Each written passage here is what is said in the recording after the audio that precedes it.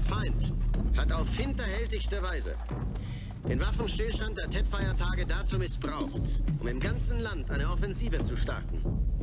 In Saigon ist die amerikanische Botschaft von Selbstmordkommandos überrannt worden. Ke-San steht kurz davor, überrannt zu werden. Außerdem liegen uns Berichte vor, dass eine nordvietnamesische Division das ganze Stadtgebiet von Hue südlich des Perfume River besetzt hat. Strategisch bedeutet das, Charlie hat das Land mit seiner Offensive halbiert. Die zivile Presse scheißt sich bereits die Hosen voll. Und sogar unser Fernsehen erzählt in Kürze den Leuten die Story, dass der Krieg jetzt nicht mehr zu gewinnen ist. Sir, heißt das etwa, dass Anne Margaret nicht kommt? Auf welcher Seite stehen Sie, Sohn? Auf unserer Seite, Sir. Leben Sie Ihr Vaterland? Jawohl, Sir. Dann halten Sie sich auch ans Programm. Warum packen Sie nicht mit an und machen mit bis zu unserem Endsieg? Jawohl, Sir. Sohn, alles, was ich von meinen Marines verlange, ist, dass sie meinen Befehlen gehorchen, als wären sie das Wort Gottes. Wir sind hier, um den Vietnamesen zu helfen, weil in jedem dieser Schlitzaugen steckt ein Amerikaner, der aus ihm raus will. Sir, jawohl, Sir. Halbe Joker, warum wollten Sie zu meinem geliebten Chor? Sir, um zu töten, Sir. Sie sind also ein Killer! Sir, jawohl, Sir. Zeigen Sie, wie ein Killer aussieht! Sir. Wie sehen Sie im Kampf aus?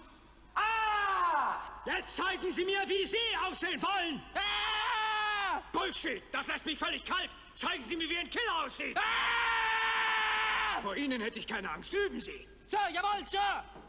Was ist Ihre Ausrede?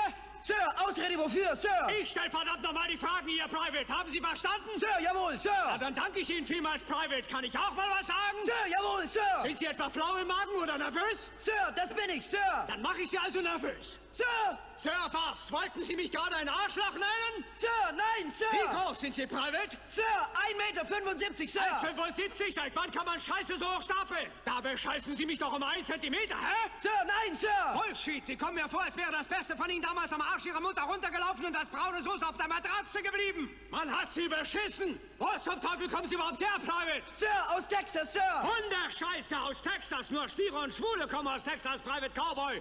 Und nach dem Stier sehen Sie mir nicht gerade aus, also wird die Wahl doch eng. Sind Sie Schwanzlutscher? Sir, nein, Sir! Oder ein Pfeifenraucher? Sir, nein, Sir! Sie sind doch garantiert diese Art von Typ, der fickt jemand in den Arsch und hat da nicht mal das bisschen Anstand, dem wenigstens auch einen runterzuholen. Sie merke ich mir vor. Well, everybody's heard about the bird. The bird, bird, bird